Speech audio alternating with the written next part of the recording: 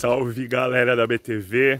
A gente está aqui na trilha de Guaratuba, filmando as espécies, começando o nosso trabalho de produção do Que Verde é Esse. E você já acompanha, já começa a acompanhar o nosso conteúdo, os bastidores dessa aventura aqui nas florestas de Bertioga. Araçariguama ali, grandão. Tá. Do lado daquele portãozinho azul já tem um. Beleza. Beleza? Falou, tchau, tchau, até mais. Obrigado.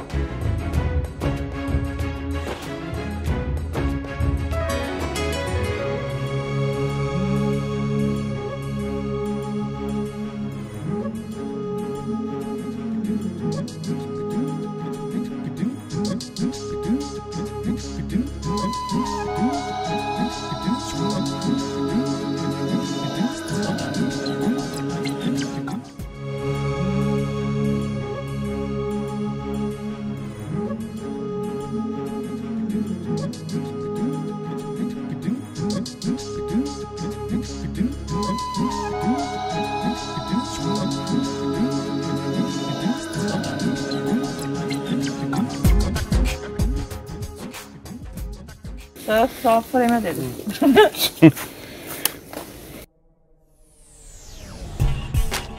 É uma história. Meu, você sabe que quebrou.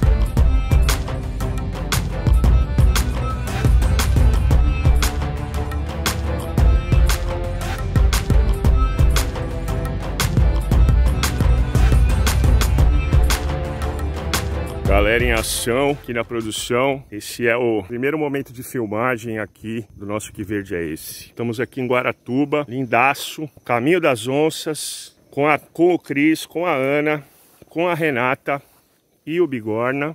E a gente tá fazendo o nosso primeiro projeto de educação ambiental com a ajuda da Buriqui Educação Ambiental e da Buriqui Filmes também. Pessoal do Viveiro, enfim, galera muito grande do bem com a gente. Agradecer o pessoal aqui também, o Júnior, o pessoal Renato, o pessoal aqui da trilha.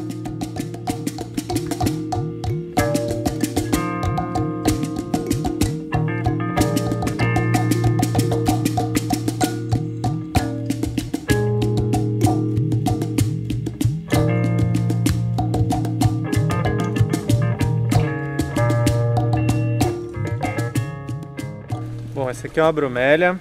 É, as bromélias são epífitas, né? Na verdade tem alguns tipos. Essa aqui é uma epífita. A gente tem outros tipos de bromélia de chão, que são os caraguatás. Tem diversas espécies, né? A bromélia ela é morada de vários anfíbios, principalmente perereca, sapo, etc. Ela guarda água aqui e só fazendo um adendo, né?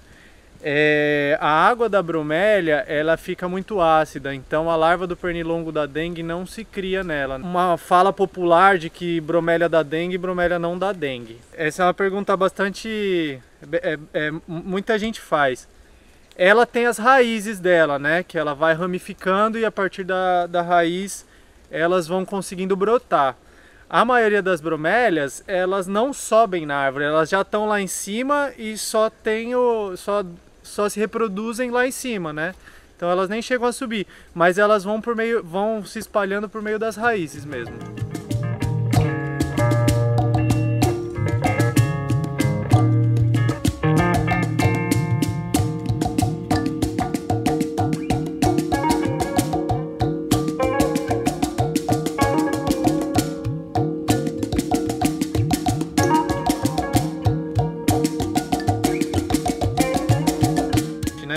Você tem vários insetos que vivem nela, né? Aranhas pequenas, opiliões, enfim, uma infinidade de insetos.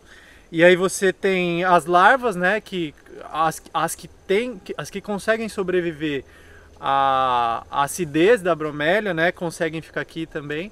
E aí você tem os predadores um pouco maiores, que são as pererecas, as rãs e os sapos.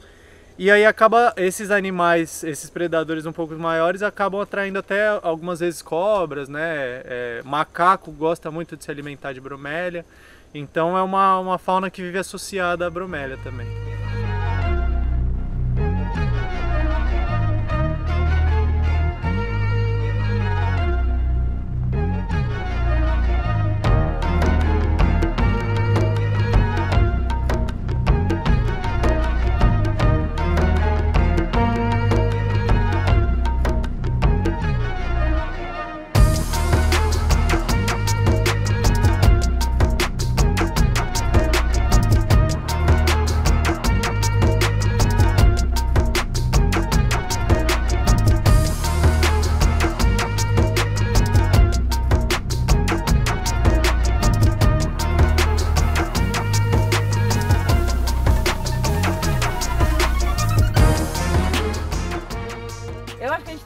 Fazer o Caraguatá, que é uma outra vamos, espécie. Vamos, tudo bem. Fazer o... falar sobre.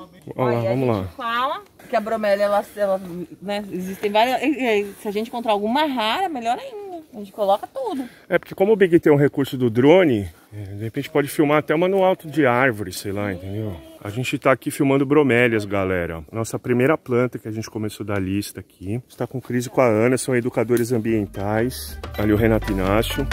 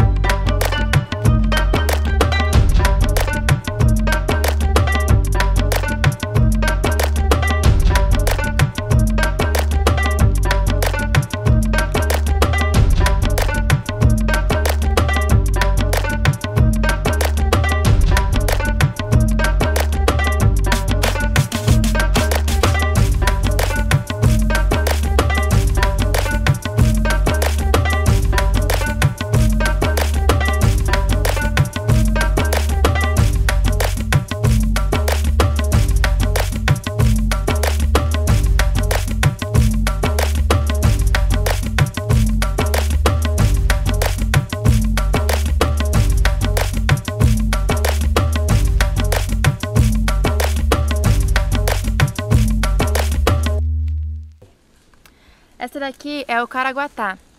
Ela é uma bromélia de chão, então ela se dá muito bem aqui na Restinga por conta do solo arenoso. Mas ela não se dá muito bem em áreas muito alagadas. E para se proteger, as folhas dela têm pequenos espinhos. É uma forma de proteção dessa planta. E o caraguatá, ele também pode servir de morada para outras espécies, como aquela outra bromélia. Então ela, ela tem esse formato que pode começar a acumular água e outros animais podem vir aqui para se alimentar e viver por aqui.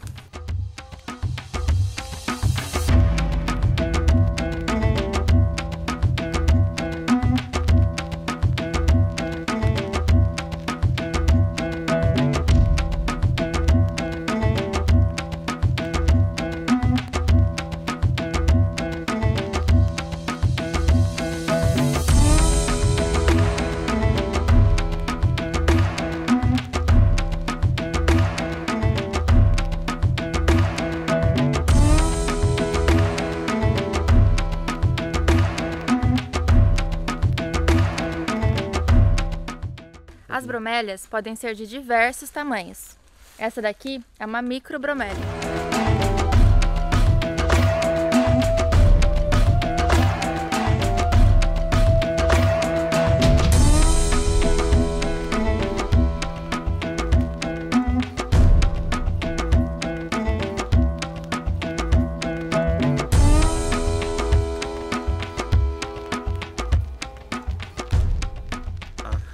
Bom, aqui na área de parque a gente não pode tirar, as pessoas sabem disso, né? É, enfim, A gente sempre que traz grupo também tenta avisa, ó, não pode levar, por mais que essa aqui esteja fadada, né, a, a, a morrer, ela não vai conseguir se perpetuar, mas ainda assim não pode levar, ela tem que virar matéria orgânica, ela tem que cumprir a função dela. É... E assim, a gente tem alguns casos de bromélias raras, né, que é que o pessoal mais procura, e aí é muito complicado você tirar da mata uma bromélia que é mais rara, que já é que, que provavelmente já tem uma dificuldade de reprodução, por isso que ela tá, por isso que ela é mais rara, né? A reprodução dela deve ser algo mais complexo também. E, e aí a pessoa vai e tira uma bromélia dessa para vender, porque ela provavelmente no mercado tem um valor mais caro, né? Então a gente precisa, a, a, o ser humano precisa criar essa consciência, né, de que a gente não pode precificar a natureza, né? A natureza não tem preço, ela tem valor, né? A gente está acostumado a vender tudo na, nossa sociedade capitalista e a, a, a natureza não se encaixa muito bem nisso, né?